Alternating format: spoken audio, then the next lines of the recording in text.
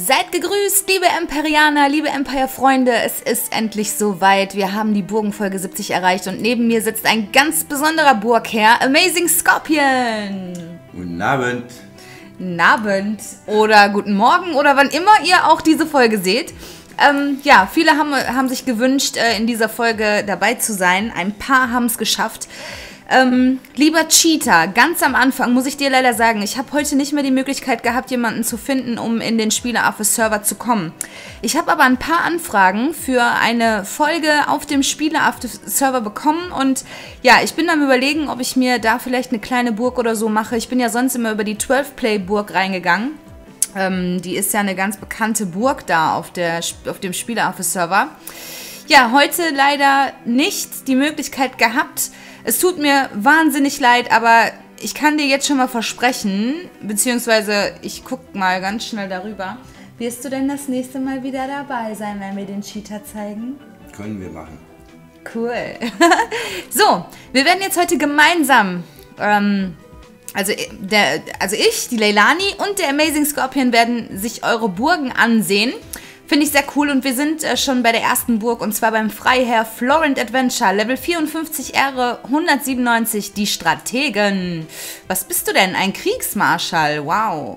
Und ich sehe schon direkt den ersten Sechser aus dem Posten, äh, Achter Nahrungsaußenposten. Pardon. Jetzt habe ich ja Gott sei Dank jemanden dabei, der meine Fels ein bisschen so mit beobachten kann, ne? Ja, erzähl. Du bist heute gefragt. Ja, was soll ich großartig zu der Burg sagen? Einzigste ist ähm, später die Wohnhäuser würde ich kürzen. Das sind zu viele, genauso wie Steinbrüche und Holzfäller. Aber sonst ist die Burg doch sehr ordentlich angeordnet. Finde ich auch, finde ich auch. Die sehr Bäckerei Stufe 3. Äh, hier steht ein Lazarett drin. Die Stallungen könntest du vielleicht später nochmal irgendwann ausbauen.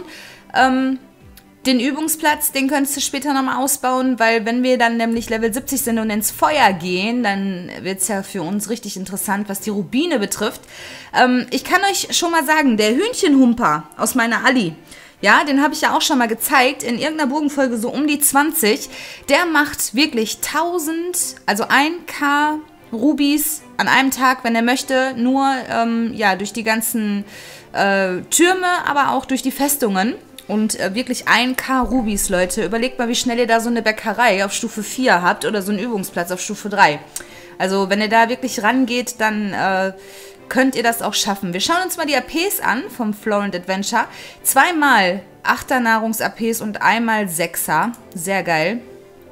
Schauen wir mal, ob du da auch schon die Bäckereien so hoch hast. Okay, der ist noch nicht ganz so hoch, der AP keine Bäckerei drin, so wie ich das sehe. Hier baust du gerade einen Schlosspark. Ja, wolltest du was dazu sagen? Ja, ich würde die Leute einfach nur äh, sagen, dass die diese ganzen ähm, Lazarette, Trotzburgen, Trutz. Ja, Trutzburg, alle weglassen Trotzburgen. Sollen. Das ist ähm, der größte Schwachsinn. Ja, jetzt mittlerweile nach dem Update kann man die ja wieder abreißen, egal wie groß die sind, finde ich ganz cool. Ähm, die Trutzburgen, die bringen nichts. Wirklich. 15 Soldaten, die nehmen nur Platz weg. Okay, wenn man noch nicht alles ausgebaut hat hier, ich meine, du hast ja die, die Schlossparks noch vor der Brust hier, ne? Muss die Parks noch, ähm, noch austauschen. Das ging bei mir Gott sei Dank ruckzuck, aber das hat wahnsinnig viele Rohstoffe gefressen. Und ja, gerade bei so einem Achter Nahrungs-AP, da hat man ja nicht so viel Produktion.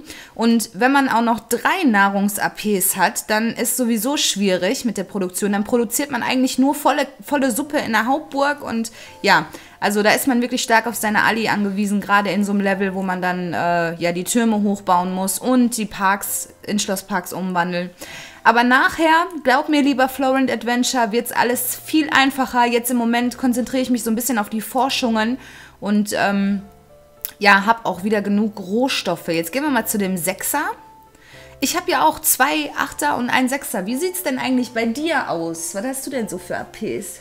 Ja, ich habe drei Achter Glitzernahrung. Und ähm, ja, ich bin da komplett ausgebaut. Ja, du hast halt die 70er. Die, mit der 70er Burg, der, mit der, ähm, dem Aufstieg zu Level 70, da bin ich ja eigentlich bekannt auf YouTube geworden. Ähm, war mir eigentlich so dessen gar nicht bewusst, dass ich eigentlich so die Erste bin, die dieses Video dann äh, hochgestellt hat. Hier bist du auch noch nicht ganz ausgebaut. Ähm, ich weiß, wie kacke das ist, wenn man so drei APs gleichzeitig hochpushen muss. Also das ist wirklich, ja, hat man nicht leicht, ne? Also hier, aber ich will auf jeden Fall jetzt schnell die Mühle auf drei bauen. Ne? Und dann hast du ja auch noch die Türme hier vor der Brust. Also würde ich erstmal die Türme machen. Der wichtigste ist immer, wir müssen versuchen, zuerst die Grundfläche komplett zu bauen, dann die Türme und dann das Innenleben. Ja, so wie bei mir jetzt im Sand, wenn ihr da mal gucken wollt, da bin ich jetzt mit dem letzten Turm dran. Obwohl, wenn ihr das hier seht, dann habe ich die schon längst. Noch 30 Minuten, dann habe ich nämlich den letzten Turm ausgebaut im Sand. Ja, wir gehen zum dritten AP. Oh, Guck mal hier, hier ist noch einer auf zwei. Kann das sein, dass du die alle irgendwie, kann das sein, dass du umgezogen bist und die die alle irgendwie gleichzeitig geholt hast? Weil die sind auch noch nicht so ausgebaut. Wie, welches Level bist du? 54, da kannst du eigentlich alle Flächen schon ausgebaut haben. Aber ich gehe mal stark davon aus, dass du wirklich gerade in der Misere bist und alle drei gleichzeitig irgendwie eingenommen hast und alle drei versuchst gleichzeitig jetzt hoch zu pushen. Ja, ist nicht einfach. Lieber Florent Adventure, vielen Dank, dass wir deine Burg ansehen durften. Ich hoffe, du hast dich gefreut, dass wir das in dieser besonderen Folge hier gemacht haben. Wir haben noch ganz viele Leute, die, ähm, die gezeigt werden wollen. Unter anderem gehen wir auch gleich auf einem anderen Server, aber das machen wir ganz zuletzt. Wir gehen jetzt zu Habicht 88 und Habicht ist auch einer der wirklich treuen Seelen hier bei mir auf dem Kanal und äh, bei Empire und deswegen Ehre, wem Ehre gebührt, habe ich ja in letzter Zeit auch schon lange gesagt. Deswegen wirst du heute auch gezeigt, du bist äh, nicht auf dieser Koordinate. Oh, da vorne muss eine 2 hin. ich dachte gerade schon, oh, Habicht, deine Burg hat sich aber verändert. da ist doch Habicht. So, ich gehe mal ganz schnell eben Münzchen abholen. So, ich immer und mein Geld, ne? Das ist Wahnsinn, ey. So, Burghabicht 88, Landgraf, Level 45, R716, Trojaner XXX 1X oder so. Was ist denn das für eine Zahl? Ich habe auch keine Ahnung von römischen Zahlen. Okay, wichtig sind die äh, Hauptburgen. Habt ihr nicht auch eine Trojaner? Wir haben auch Trojaner da drüben auf dem anderen Server. Oder? Nee, oder, bei uns nicht. Oder bin ich jetzt schon so in diese Welt hier drin, dass ich das meine? Ja, nee, bei uns gibt es keine Trojaner.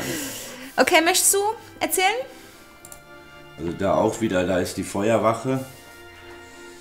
Die kann man sich sparen, weil ist nur rausgeschmissene Rubine. Guck mal, was hier steht. Ja, okay, die Rubinmine, ich weiß nicht, ich habe sie nie gehabt. Als ich angefangen habe zu spielen, da gab es die noch nicht. Ne, stimmt. Und ich weiß nicht, ob es sich ob die sich lohnt. Da kann ich nichts zu sagen. Aber wie gesagt, hier die ganzen Feuerwachen und Lazarette, also die würde ich weglassen. Die Rubine kann man besser woanders investieren. Okay. Ja, hast du ja auch schon. Bäckerei Stufe 2. Man muss dazu sagen, dass manche Allianzen hier wirklich drauf pochen, dass man sich so was reinstellt. Also das ist wirklich, ähm, das habe ich jetzt schon ein paar Mal gehört. Ähm, andere Server, andere Sitten. Bei uns drüben würde sich niemand so ein Ding reinstellen, es sei denn, die sind irgendwie in so einer Allianz, die ja, die sich gerade irgendwie neu aufbaut oder so und dies nicht besser weiß. Aber ähm, ich sag schon bei uns drüben, bei dir drüben. Bei mir drüben. Bei dir drüben. ja, bei mir drüben auf den Server, da wird man kaum so was finden. Also die großen Allianzen oder die großen Burgen, die starken Allianzen, da wirst du nirgendwo eine Feuerwache sehen oder ein Lazarett. Die haben ihre Sachen auf das Minimale ausgebaut und sind nur für ähm, ja. Nahrung. Genau, richtig. Die sind so Nahrung auf Nahrung fixiert. Ordnung. Richtig, also da hast du wirklich auch so eine Belagerungswerkstatt. Ähm, beziehungsweise eine Verteidigungswerkstatt in einer Burg und von dieser Burg aus schicken die sich das überall rein, damit die ja so ein bisschen Platz sparen hier und da wirklich ja, und dann auch noch. Die, ähm, die Rubinspieler, die ähm, haben die nicht mehr drin, weil Verteidigungswerkzeug kann man sich ja auch ähm, per Rubine kaufen. Genau, wenn die Dinger hier sind, hier vorne. Wie heißen die nochmal? Äh, der, ähm, der Waffenhändler, oder? Ja. So, lieber Habicht, was zeigt mal deine APs? Zweimal Sechser. Boah, ich habe am Anfang habe ich immer so viele Burgen gezeigt, die hatten nie irgendwie Nahrungs-APs und jetzt, ey, ich glaube, ihr seid doch wirklich richtig stolz darauf, ne, mir das zu zeigen. Diese Nahrungs-APs, voll cool. Ja, schön eine Flächenerweiterung noch und dann kannst du dir erstmal so ein bisschen an die Füße spielen, denn dann kommt als nächstes erstmal hier die Türme. Lass mal kurz gucken. Ja, So ein bisschen musste noch warten. 52 geht's los ähm, mit den ganzen Sachen auf Stufe 4 und ich glaube 53 kommt dann hier der Bergfried oder irgendwie soweit. Also, ne? Also viel Spaß dabei. Ich hoffe, du hast eine gute Allianz, aber die Trojaner, ja, ähm, die werden dich gut versorgen. Gut, dass du die Wohnhäuser nicht äh, fett ausgebaut hast hier, denn die wirst du, denke ich mal, irgendwann sowieso abreißen. Ich schaue mir mal die nächsten Außenposten an. Ich muss die ganze Zeit heute den ganzen Tag daran denken, weil, weil ich weiß, weiß ja, dass wir jetzt die Folge aufnehmen, wie wir so angefangen haben mit dem Spiel. Ich kann mich da gar nicht mehr dran erinnern. Nee, nee ich kann mich so dann noch genau daran erinnern, wie wir auf der Couch saßen und der Pico gesagt hat, Mama, wenn ich heute in eine Schule gehe, kannst du mal das und das und das bei der Burg dann machen. Da wird was ausgebaut, das ist dann fertig und kannst du das bitte dann das nächste ansetzen. Und da habe ich so einen Spaß gehabt daran. Und irgendwann hast du das dann auch übernommen. Und dann haben wir irgendwann gesagt, nee, Louis, das ist, das ist ein Kriegsspiel, das ist nichts für dich, nur um dem die Burg abzunehmen. Geier. Und dann haben wir beide uns erst die Burg geteilt und erstmal haben wir gesagt, wir investieren darin gar nichts, ne? Und dann, ey, oh, dieses Spiel, ey, das verfolgt uns jetzt schon so lange. ja, Belagerungswerkstatt baust du hier gerade aus. Der AP, der hat noch keine Deko, beziehungsweise keine nennenswerte Deko. Diese Sachen wirst du dann irgendwann alle mal wegpacken. Die Wachhäuser dann irgendwann nochmal auf 4 ausbauen. Das kannst du in deinem Level, wenn mich nicht alles täuscht, jetzt schon machen. Und ach, guck mal, wie süß hier die vereinzelten. Ja, die dann noch alles schön hochpushen. Ich denke mal, so lange wirst du den AP noch nicht haben. Und jetzt schauen wir mal den Stein-AP, ob du da viel investiert hast. Ähm, da kann man dann immer leicht sehen, oh ja, der ist schon ziemlich groß. Ähm, hier stehen sechs Wachhäuser drin. Das ist ein bisschen viel. Da kannst du locker zwei rausnehmen, denn wenn du irgendwann dann mal die Wachhäuser auf vier hochbauen kannst, ich glaube, die kannst du erst beim Architekten machen. Ja, obwohl Wachhäuser ist immer so eine Sache. Das ist, ähm, ja, Wachhäuser sind eigentlich nur gut für Sabotagen. Aber eine Spionage gegen ähm, ist, ja, ist immer Glückssache. Ich mache Spionagen, die haben 200 und Wachen drin, die gehen durch und ich manchmal fallen Spionagen auf, die haben 50 Wachen mhm. und ich werde erwischt. Ja. Also das ist immer eine Glückssache. Das Einzige, wo die dich wirklich ein bisschen gegen schützen, ist gegen Saboteure, dass die ähm, erwischt werden. Ja. Weil äh, gute Sabotagen können dir auch deine Burg arg hohen Schaden anrichten. Mhm. Ja, ich hatte das heute zum Beispiel, ich habe heute jemanden ausspioniert, da war das Risiko erwischt zu werden. Ich gehe ja immer auf 100 Prozent und ich denke mir dann, ja gut, wenn sie mich erwischen. In Kriegszeiten machen wir das sowieso nicht, aber weißt du, wenn er mich jetzt erwischt hätte heute, dann hätte ich gesagt, YOLO, ich wäre trotzdem losgegangen. Ähm, ist halt nur immer praktisch, wenn man weiß, wie viele äh, Werkzeuge man mitnehmen muss. Deswegen habe ich vorher eine Spionage gemacht. Risiko erwischt zu werden war 20 Prozent und die ist innerhalb von sechs Minuten zu Hause gewesen wieder und hat mir dann die Spionageergebnisse gebracht. Also YOLO, 20 Prozent. Der hatte wirklich einiges an Wachhäuser drin und ja, ich bin trotzdem durchgekommen. Also das ist früher, als wir ähm, angefangen haben zu spielen, ja, da gab es die Sabotagen noch gar nicht. Da gab's, waren diese Wachhäuser wirklich nur gut für gegen Spionagen und ja, ich sage ja, ich habe da, ich kann das immer nur wieder erzählen. Wir haben da damals mal mit unserem König King Nitromo, haben wir damals mal, den haben wir so verarscht. Boah, weißt du noch, wie viele Wachhäuser der hinterher bei sich in der Burg drin hatte? 256 Stadtwachen hatte der, glaube ich, gehabt. Und oh, wir haben ihm seine eigenen Spioberichte vor die Nase gelegt. Richtig. Und er konnte das gar nicht glauben. Nee, der konnte das nicht glauben. Der meinte sogar, das wäre manipuliert, aber war es nicht. Lieber Habicht, wir flüstern hier locker flockig hier aus dem Nähkästchen, während wir über deiner Burg schwirren. Oh, guck mal, hier ist äh, HSV. Ja, sorry, aber ne, wenn da nicht MSV steht, ist klar, dass das eine Ruine wird. Nein. Ja, eh bald absteigen, der HSV. da dachte er sich, halt schon geworfen. Ja. Dachte sich, YOLO, ich bin dann mal weg. nee, schön. Also die Burgenfolge, äh, habe ich mir jetzt auch irgendwie kein Zeitlimit oder so gegeben, äh, genommen. Ähm, ja, wenn der Amazing schon mal da ist, dann können wir auch ein bisschen quatschen, habe ich mir gedacht. Jetzt kommen wir zu einem ganz, ganz, ganz, ganz lieben Spieler, wo ich mir wirklich, mich wirklich freue, dass ich den heute in der Burgenfolge zeigen darf. Äh, falsch. Lieber Ice Cream, du bist dran. In letzter Zeit habe ich nicht so viel von dir gehört, aber ähm, naja, ich weiß auf jeden Fall, dass du da bist und vielleicht nimmst du auch ein bisschen Rücksicht, weil du ja genau weißt, dass ich so viele Mails bekomme und so. Aber ich freue mich jedes Mal, wenn du nur schreibst, hi. Oh, Großfürst Ice Cream ist bei den Samurai. Level 49 R903, genau. Jetzt blinzelt es da wieder in meinem Köpfchen. Samurai. Wuhu! Ja, Baby, hier, guck dir mal so eine Samurai-Burg an. Ich quatsche ja oft von denen, ne? Guck mal hier, Ice Cream. guck dir die Burg an. Sag mal was dazu. Ich, oh, ich will es auch Ja, haben. ist auch eine, ähm, eine schön aufgeteilte Burg, aber wiederum die gleichen Sachen drin. Lazarett auf 4, diese Feuerwache auf 3. Da ist ein Also ich Balkon. weiß nicht, ähm, ich würde es Boah, guck weglassen. mal, der Baumeister. Boah, die sehen ja sehr, sehr geil aus, oder? Ich weiß, dass ich Ice Cream vor kurzem schon mal gezeigt habe. Also so lang ist das noch nicht her. Und da haben wir ja schon mal über die Burg gestaunt. Aber guckt euch mal dieses Reiterstandbild an. Ja, sind schöne Sachen. Hat er auch mal hier ein paar äh, Lottoscheine geholt, damit er den Triumph der Stärke dann bekommen kann. Da wird er wohl einiges reingesteckt haben an Kohle. Aber auch halt hier wieder, ich finde, ähm, zu viele Steinbrüche und zu viele Holzfäller. Ja, auf jeden Dafür Fall. könnte man später mal ordentlich Deko noch reinhauen und das. Ja, aber die Burg sieht toll aus, sag doch mal ehrlich. Ja, ich sage, ja, ist schön angeordnet. Ja, und die, die Gebäude, die sind wirklich schön. Also Empire lässt sich da schon nicht äh, lumpen, ne? Wenn es um Geld geht, guck dir das mal an. Das sieht wirklich einmalig aus.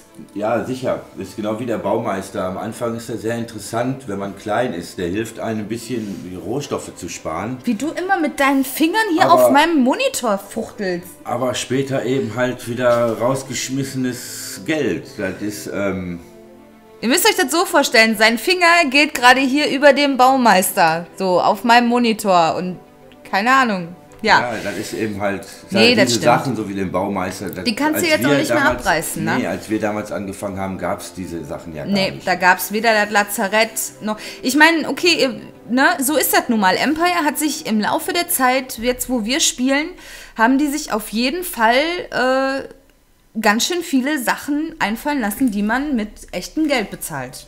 Und das nicht wenig. Ne? Und ich muss eben halt eben sagen, der sich den Fest, äh, den, den, Ja. den Dingsplatz, Den äh, Übungsplatz? Baut, den Übungsplatz baut. Also der bringt so später wirklich was, wenn der auf Stufe 3 ist. Ja, ja, das ist natürlich schade, ne? Da hätte den hier, ähm, guck mal, da so viele geile Sachen hier drin und dann den Übungsplatz nicht ausgebaut hast. Also guck mal, die Stallungen Stall. sind hier. Vielleicht sparst du jetzt gerade darauf, kann sein. Boah, jetzt bin ich aber mal wirklich auf die APs gespannt. Drei Sechser und der hier ist schon auf Level 70. Guck mal. Komm schon. Ui, da packst du dir sogar ein paar Festplätzchen rein. Schön. Ja, schöner ausgebauter Level 70er Pferdeschweif-Banner stehen hier unten.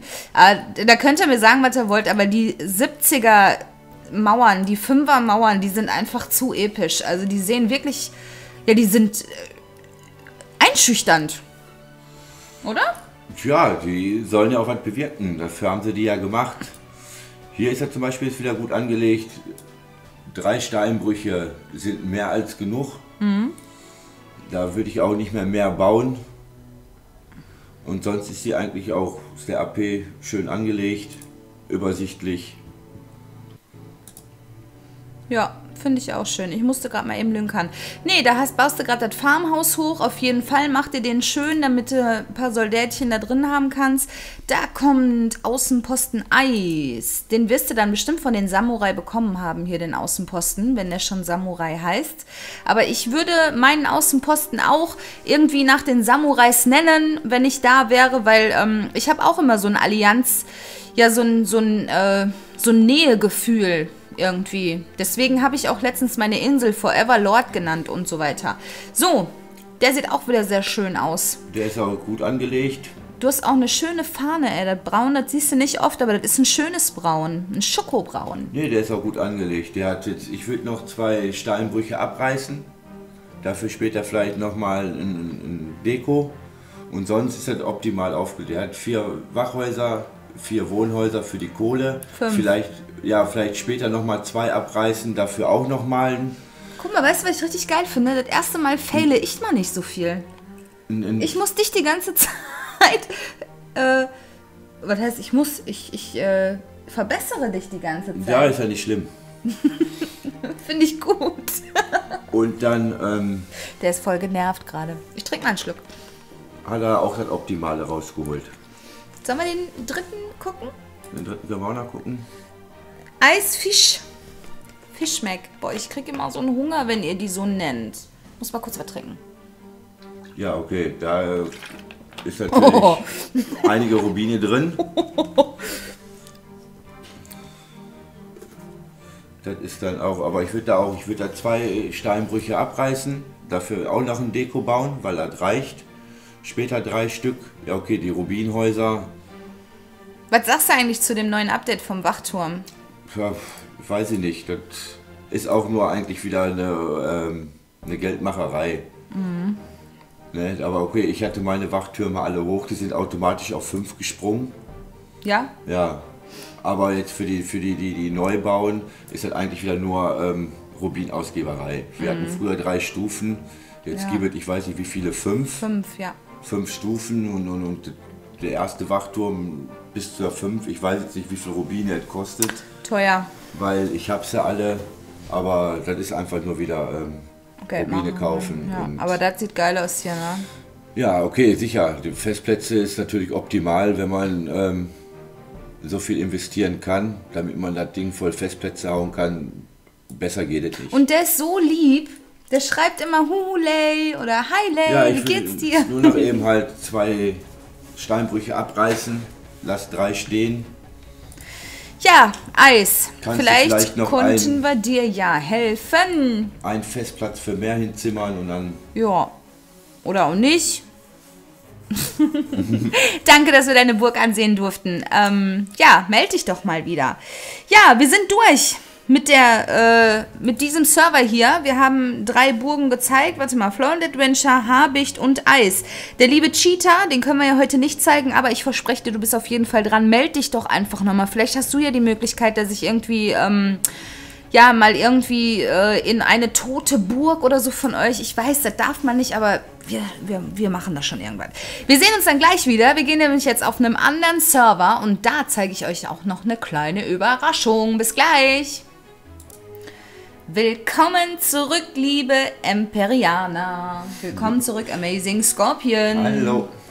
Ja, ähm, wir haben heute hier eine ganz besondere Burg zu zeigen, nämlich von einem, ja, mittlerweile schon befreundeten Emperianer. Wir machen viel zusammen, wir zocken Minecraft, wir zocken LOL, wir quatschen viel, äh, wir streiten uns viel, aber wir haben uns auch ganz dolle lieb. Und zwar sind wir hier beim Lars, der Hater. Der Lars ist vor kurzem erst Level 70 geworden. Der ist bei Kühne Krieger, Ehre 645. Und ja, der Lars, der hat gesagt, Lay, warum nicht? Ich bin jetzt Level 70 geworden, Burgenfolge 70, wäre doch mega cool. Ist es. Und jetzt, wow, der Lars, der ist aber ganz schön aktiv. Guck mal, der hat den, den Dornenschädel. Ja, ja. Boah, den habe ich schon lange nicht mehr gesehen, äh. ja ich bei wollte uns den auf der haben. Karte haben den viele. Ja. Ja, nur wir haben den leider nicht. Nee, wir haben den leider nicht. Weil den gab es nur beim ersten Mal Event bei uns, ne? Da waren wir noch zu klein für. Ja. Also da konnten wir nicht Ja, nichts reißen. ja. Aber irgendwie, weiß ich nicht. Also warum hat der Lars den dann? Weil er so lange wie wir spielt er ja noch gar nicht. Ich weiß nicht. Oder gab es den vielleicht hier dann mal später? Das kann ich auch sein, oder? Ahnung. Ja. Nee, schön. Da, zweimal hier, der Stolz des Löwen, den hast du auch. Also deine Burg ist wirklich schön. Ich glaube, die hast du extra für uns so schön gemacht, oder? Thron des Nekromanten steht hier auch sehr schön. Also ist auch wirklich ein sehr aktiver Spieler. Guck mal, da steht nochmal Leopolds Dank. Ja, davon habe ich auch genug Ach, der rumstehen. Stolz des Löwen. Wow, der ist ja genau.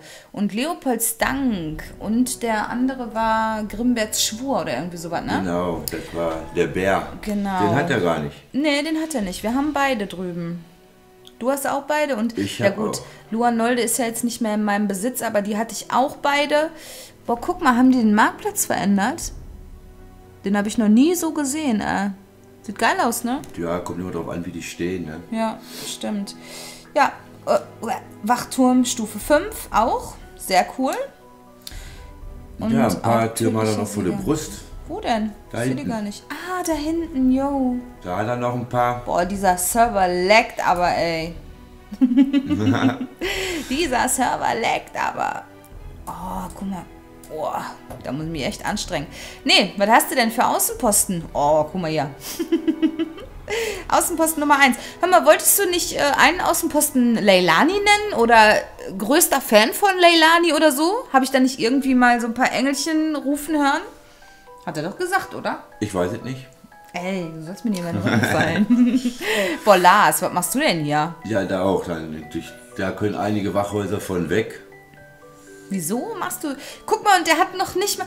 Alter, der ist Level 70 und hat noch nicht mal die Parks in Schlossparks umgewandelt. Ja, der ist wohl noch ein bisschen im, hier im Stress, weil der muss ja hier auch noch die Türme machen. Ja, aber hallo, hat man da nicht genug Zeit für? Vielleicht nicht die Rohstoffe, ich weiß nicht, wie seine Allianz drauf ist mit Versorgung. Das kann sein. Nummer 3. Boah, hört ihr da draußen? Die Pfadfinder machen voll Party da, ey. Ich habe auch schon gerade zum Amazing Scorpion gesagt, ich so, boah, die Leute, die feiern da unten draußen mit. Ja, hier noch ein paar mehr. Nee, der Lars, jetzt wollen wir mal äh, Tacheles reden. Der Lars, der hat mir schon sehr wohl gesagt, dass er im Moment sehr knapp ist mit Rohstoffen und ja, dass er deswegen dann halt nicht alles immer so packen kann. Und ich glaube, ja. der kratzt da wirklich dran. Aber da er mich auch ständig disst, habe ich mir gedacht, äh, Die Türme, die fressen ja. natürlich einiges, aber da auch viel zu viele Wachhäuser. Weg damit. Weg damit. Und Deko rein. Ja. Ruby Dekolas. Infinity. Schön. So glaub, ich glaube, Infinity nenne ich mein Pferd. Ich muss mal eben kurz aufschreiben, damit ich das nicht vergesse. Ich bin ja immer so vergesslich. So. Infinity. Auch der Turm, äh, auch der Außenposten. Guck mal, der baut sich hier noch mehr Wachhäuser rein. Ja, der, ist auf der sicheren Seite. Er ist so ein Safer. Safety first, Infinity. Ja. Er hat da noch welche hingebaut. Ach Gottchen, was ist los da bei dir? Bist du ständig sabotiert oder was? Also reiß die Dinger wieder ab, spar den Platz. Ja gut, jetzt im Moment braucht er die ja nicht abreißen, er hat ja noch niemals hier die ganzen Parks und so was alles stehen. Ja, also aber bevor er die höher baut, lass die lieber weg. Na, hier hat er auf jeden Fall den, den, den Übungsplatz, den hat er hoch.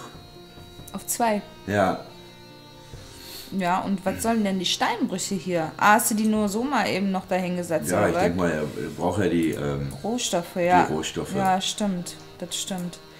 Ich will mal einmal was gucken und zwar Till I Collapse.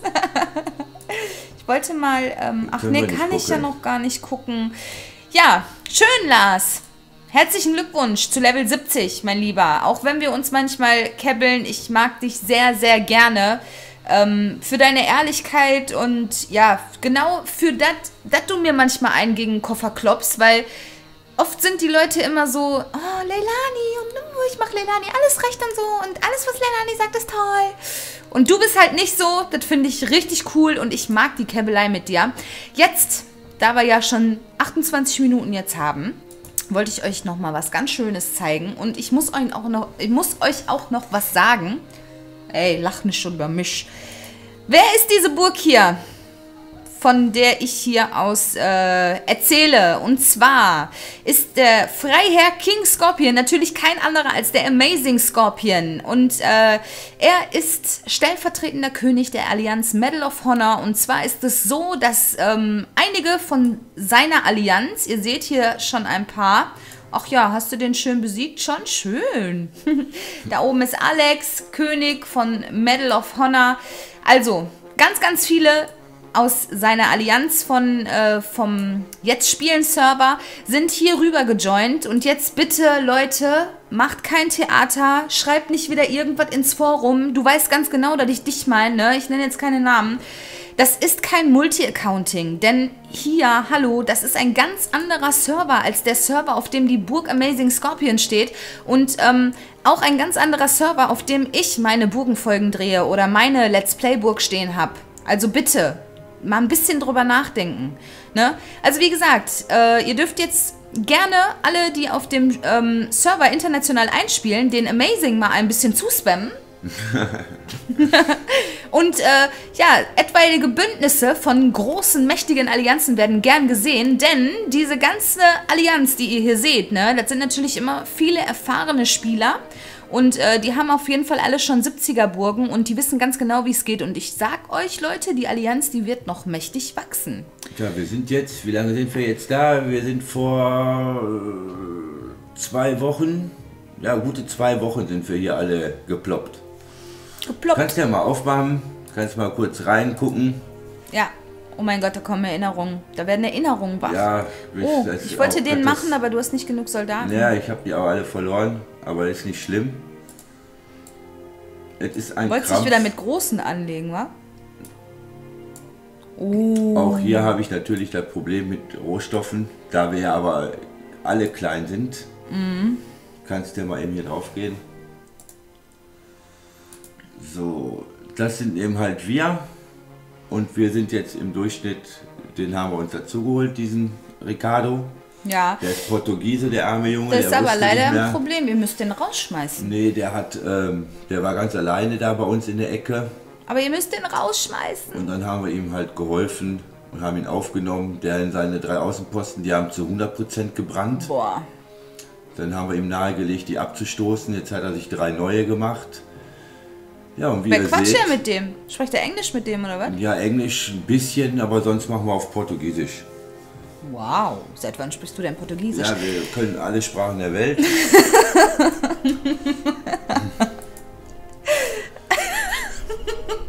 Also jointe diese Allianz. Nee, warum ich euch das zeige. Ja, ähm, jetzt die Ohrenspitzen. Meine Lieben, ich wurde ja herausgefordert, ja. Ich wurde ja von, je- von ein paar Leuten herausgefordert, mir mal eine neue Burg zu machen. Und dann gab es ja so ein paar, ähm, wie nennt man das? so ein paar Punkte, die ich einzuhalten habe. Und zwar sollte ich ähm, auf eine ganz neue Karte gehen. Ich darf in keine Allianz, die höhere Mitglieder hat als 45. Deswegen sage ich ja, dieser Ricardo, der passt mir jetzt hier gar nicht ins Schema. Denn eigentlich wollte ich in diese Allianz gehen auf dieser Karte. Und ähm, Man musste dich aber beeilen, weil wir wachsen sehr schnell. was soll das denn heißen? Ja, Was soll das denn heißen? Du willst mir keinen Platz frei halten? doch, aber sonst erreichen wir zu schnell die Level. Dann darfst du bei uns auch Ach nicht so. mehr rein. Ach so meinst du, das soll ich mal für die Steuern abholen? Boah, wie viele Steuern machst du schon? Ach so, boah, so sechs Stunden hast Ja. du die gemacht. Wie lange soll ich die jetzt machen? Machen wir 10 Minuten. Okay.